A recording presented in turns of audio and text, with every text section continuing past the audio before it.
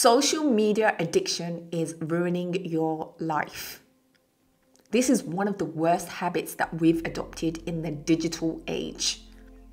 It's sucking our energy, we cannot concentrate, we cannot focus. It's the biggest distraction in our modern times. It is holding you back from achieving the things that you want to achieve, and you need to get a grip of that right now. it has so many negative impact in our life these apps that we are wasting our life away on. Instagram facebook tiktok. You tell me is it really benefiting you really truly if you're really honest with yourself is it having a positive impact to your life i know that so many for so many of us it's one of the biggest distraction and it's not having a positive impact. In fact, it is having a negative impact. So many people, in particular, if you're someone who has got low self esteem and confidence, you're more likely to suffer from depression, anxiety, because on these apps, when you go onto these apps, you're comparing yourself to other people who are living their best life everyone looks perfect. And then it makes you feel like you are not good enough. Your body's not good enough. You don't look pretty enough. You should earn more. You should be doing this. You should be doing that. You get the gist, right? You should not be doing anything apart from getting rid of this distraction. Because it's so bad for you. My dears, listen to me because I've wasted too much time on these apps over the past few years, and I know how much damage it can cause. I get it. I get it. I understand that some of us, we need it. For some of us, we use it. That's our job, right? I understand. Artists they need it to promote their work their work so that it gets sold so that it gets promoted. They need to use these platforms. Musicians djs they use it to promote events so that people are made aware of when these events are taking place. I get it. That's when it is used as a tool when we're using social media for business as a tool, I get it. I understand. We use it in a positive way. The problem is, I think so many of us are using it because actually it's using us. These apps are designed, my lovelies, to make you addicted. They're cleverly designed to make you addicted to spend as much time on these apps to hook you, to get you trapped so that you are wasting your life away. And who benefits from it? It's the people, it's the owners of these apps. So instead of letting it use you, you need to use these apps or get rid of this distraction.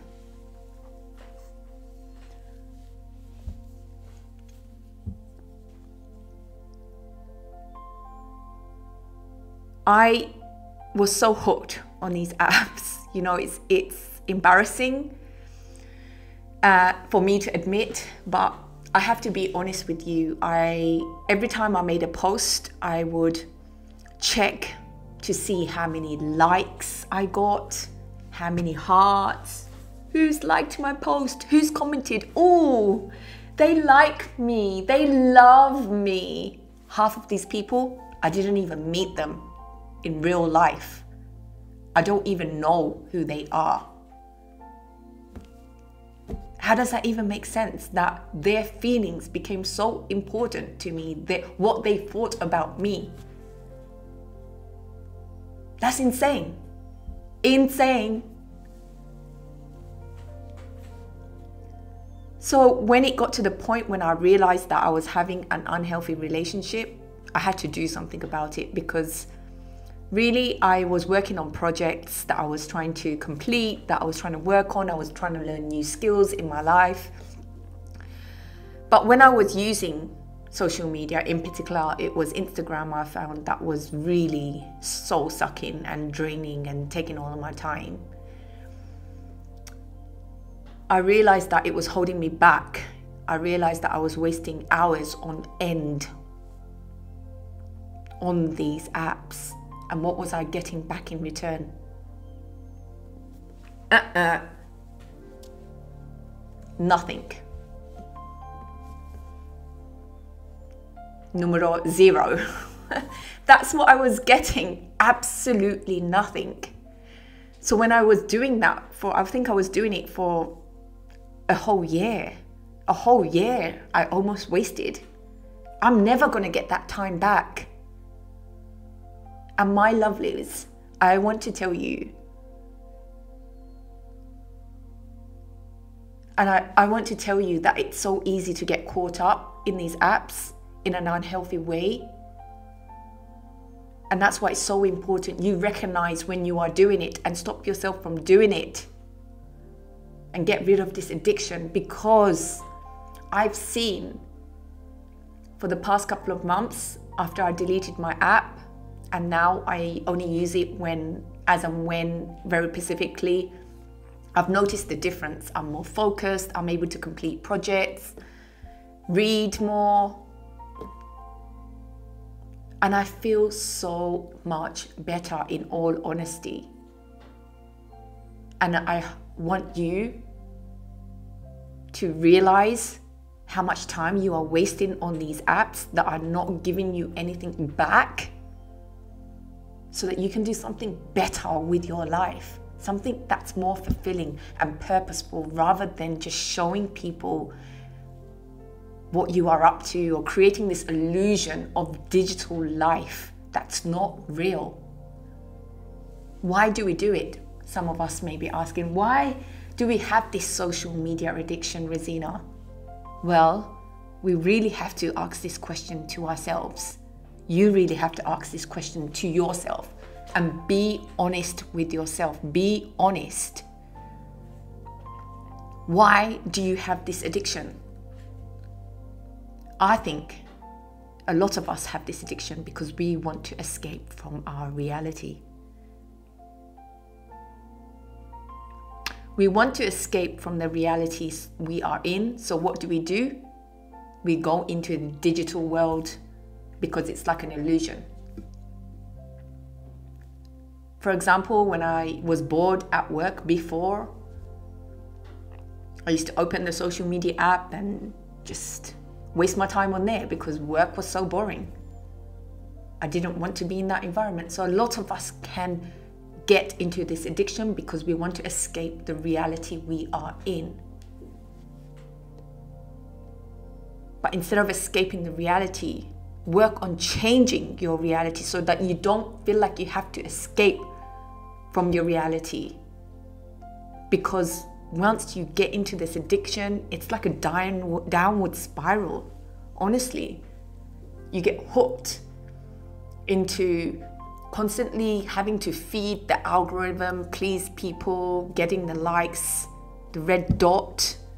So addictive, that notification. It's like, oh, I got a notification, you know? And then that wears off, and then you want the next one. And the next one is similar to drug addiction. It's the same thing. A dopamine hit every time you get a notification or the heart. As I said before, they've designed it in a very cleverly way so it gets you hooked. And you need to become aware of that, that it is taking over your life and it's time you get a grip. So, how do you know? How can you recognize that you have created an unhealthy relationship with social media, you've got an addiction with it, and what can you do about it? The first thing, like with any addiction, like with any addiction, is to accept that you've got this addiction. That's where it all begins. You really have to accept, I have a problem. It may be hard. I know some of us, it's hard to accept our problems, but that's where it all begins. Self acceptance, accepting and becoming aware that you've created this unhealthy relationship. How do you know you've created an unhealthy relationship? Well, number one, you're spending way too much time on these apps constantly checking every hour. Honestly, at one point, I think I was checking after every 20 minutes. When I was out, I was like, I need to check my phone and see how many likes I've got. Embarrassing, I know, embarrassing. But I know, I know a lot of people do this too, and I'm not the only one. I know that because I've seen it around me. I've been at events when we've been at a music event, but the, there's been people in front of me who are checking how many people who ha- are looking at their story on Instagram. We are at a music event, you know, enjoy the moment. but instead, people are more interested in living in the digital world than they are in the real world. And we're missing it all, everyone. We just, you know, it's going past us. so the first thing is to become aware that you have a problem and you've created an unhealthy relationship with social media when you're spending way too much time checking every hour, checking every 20 minutes for the likes and the comments, how many people are communicating with you, reacting with you. This is how you know you've got a problem when you are neglecting your hobbies. Have you put them on hold? That's how you know you've got a problem. Are you neglecting your responsibilities? Are you not making time for family, friends, all of these things? Think about how much time you are spending on social media and how it's taking over your life. That is the first thing to accept that you have a problem with social media. And once you do that, we can move to the next stage, which is to look to really look at how much damage it's causing you and how much it is holding you back from the life that you want.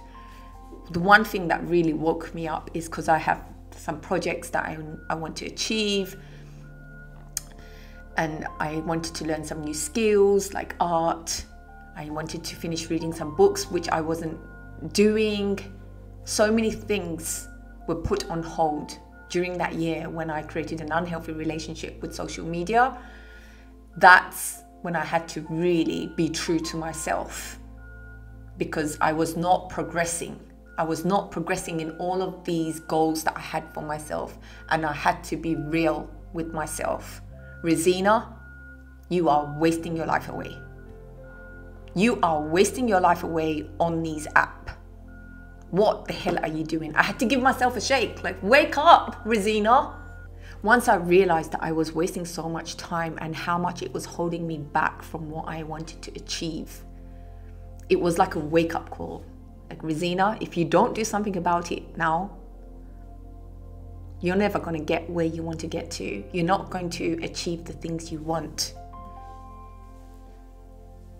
So, that was a wake up call for me. Think about the things that is holding you back from. Do you have skills that you want to learn? Do you have goals that you want to achieve? This is holding you back. It's such a big distraction.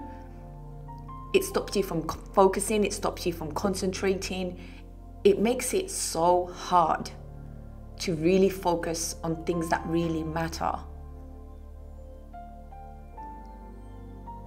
Once you realize that, how much of a negative impact it ha- it's having in your life and holding you back, then it will give you that, that push that you need to take the next steps, that kick up, that backside that you need.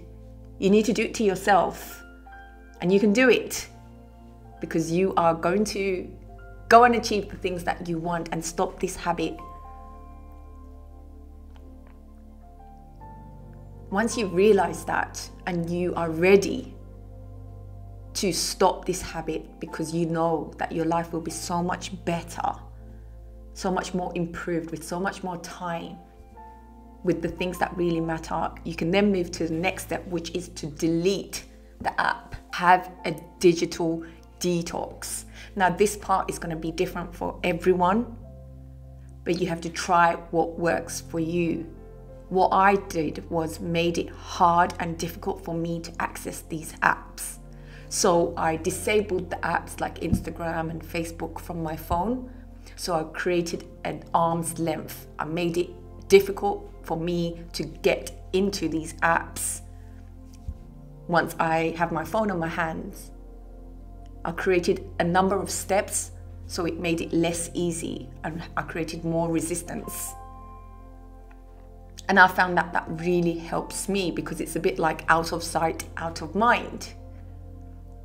But of course, you are still going to get cravings because it becomes a habit. Once we become used to something, doing something for so long, it almost feels like your body automatically wants to do this thing because we've been doing it for so long. It's like we don't need to think, our body just wants to do it anyway, right? That's what we call an addiction and a habit.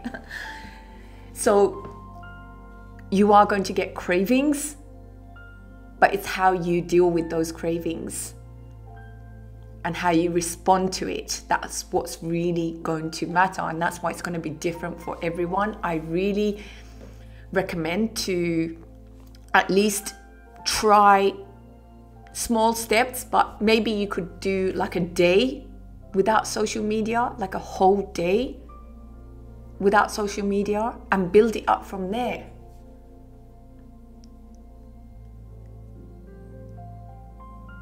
You could maybe reward yourself that if you do a whole weekend without social media, maybe you could reward yourself with something that you like, something that is going to be good for you, or whatever you choose for the reward to be.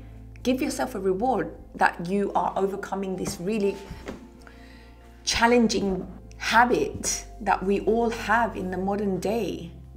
You know, have something to look forward to. By deleting the app, it will help you because it's a bit like someone who's on a diet and trying to lose weight. If they have so much chocolate in their hand, in their house, sorry, it will make it so difficult for them to lose weight. And it, the temptations will be there a lot more than if you wasn't to keep chocolate in the house then the temptation would be less. It would be make it so much more difficult to go to the shop and get chocolate. You might end up thinking, "Oh, forget it," and that's what makes it easier. That's why if you're trying to give up something, don't keep it in your house. You know, just like that. If you delete the app from your phone, you'll create a you make it harder for you to go onto these app and waste time. So find what works for you. Maybe you could do a day, then increase it to two days then you know a whole weekend. And slowly you can build from that. And i can assure you you will feel so much better. You'll feel proud of yourself for doing that for being able to overcome this habit that is really toxic that's taken so much of our time and you can do something so much better with your time. And it moves me to the next point, which is to find something else to do. As I mentioned, you are going to get the cravings and you need to be prepared for the cravings. You need to be prepared that you are going to get that. Oh, I need to check what's going on on the newsfeed. I need to check. I need to check. It's that's going to be normal. Like with any other addiction, you are going to get the craving to check your phone, to check what's happening this is the time where you need to find other things to do. This is the best time for you to rediscover the things that you used to like doing, find things, hobbies. This is the time to make good use of how you spend your time. Distract yourself with healthy habits. Go join a art club or something, you know, start learning how to paint and draw, maybe a pottery class, maybe a dance class. There's so many things that we can do that don't involve using our phone. and these are healthier habits you know it's it's interacting with people in real life when you really understand that there's a you know you could really immerse yourself in things in real life things that's so much more better for your soul. It will be you realize that it's so much more fulfilling than wasting your time on these apps that are sucking your energy that you are posting things for people who you hardly ever even see. It will, it will give you more joy it will make you less stressed less anxiety and you will feel like you are making better use of your time rather than wasting you know who feels good after spending eight hours on social media it feels rubbish do you not feel rubbish? Like I've just wasted eight hours?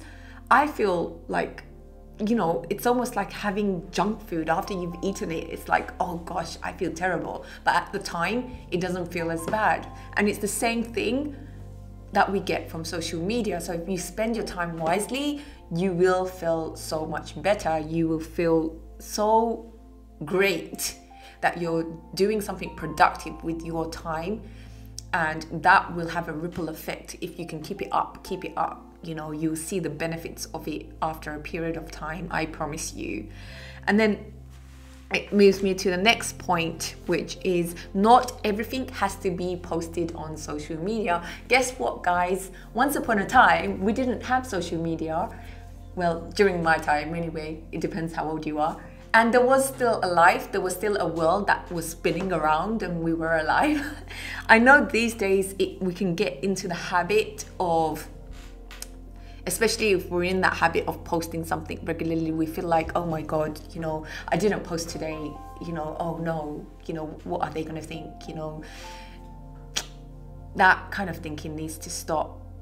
You know sometimes we get the fear of missing out from these apps. We feel like we are missing out on the fun and the whole, you know, the social media life, but it's not real. You need to remind yourself that it's not real. You know, fine if some people need to use it for their work purpose, that, you know, for bloggers, etc. I get it. But until you are doing it for, until you are using social media as a tool, you need to stop letting yourself be being used by social media. Because that's what it's doing. You're you are being used by these platforms. Your time your attention is the greatest currency in today's day and age and you are being used by these platforms. Think of it like that. So understand that you know you don't have to post everything on there you know the world is still going to carry on if you don't post a picture one day you know, I realized this actually that when I challenged myself when I went to a, on a holiday a couple of months ago, and I decided that you know what, actually, I'm not going to. I'm going to focus this trip purely in enjoying every moment and not having to think about taking pictures so that I can share it on social media. And let me tell you this that holiday was amazing. I loved it. I felt so present. I never had so much fun in my life. And I think it's because sometimes when we are in events or when we are on holiday, if we, in the back of our mind, we're always thinking, oh God, you know, maybe this shoot is going to look great on social media. Oh, maybe this post is going to look great on social media. We forget to live in the moment we are forgetting to absorb the experience around us. And sometimes, some moments we may never get to experience again. And that's why we really need to appreciate these experiences that we have without having to feel like we have to share it with the world. Like, I get it, it's okay to share now and then, but when you are constantly thinking you have to do everything for the digital world, for the posts, you really have to ask yourself the question why? Why? And honestly, some of the people who I see that are having the most fun are the people who are not very far from thinking of taking pictures for social media or they're so caught up in having fun that they don't feel the need that they have to share it with everyone. Hope these tips have helped you in some form of way to maybe look at social media usage in a different way. Look at how it can be very damaging if you don't create a healthy relationship with it. Once you've created a better relationship, maybe then you can start using it in a healthy way, not letting it control you. You control the social media apps. Use it if you need to for work purposes or to promote something that you're doing, if you do art or whatever it is, I think that's fine. But don't let it control you and take over your life because that's what it can do if you do not get handle of it. It can easily suck you in, as I mentioned in this video. So use social media rather than rather than it using you. And I hope you can create a better relationship with it. I know I have come to a place where I have created a better relationship with it. So now if I do post something, you know, it, it it's not going to be where I feel like I have to keep checking every half an hour or whatnot. You know, it's it's healthy. And that's the point. That that's the point we need to get to to create a healthy relationship with social media because I feel like it's not going anywhere. And that's why it's important we learn, we train ourselves how to be with these apps, how to use these apps so that we can use it to our advantage, not the other way around. So I hope you found this video useful. Let me know. I would love to hear from you. What are your thoughts about social media apps? Let me know if there's something that I've not mentioned in this video that you can add. I'd love to hear from you. Leave a comment below. If you've liked this video, don't forget to like and also subscribe. It really helps and it lets me know that you like this video and I can create some more if you like it. I hope you're all doing really well and I look forward to seeing you in the next video. I'm sending you my love. Bye bye.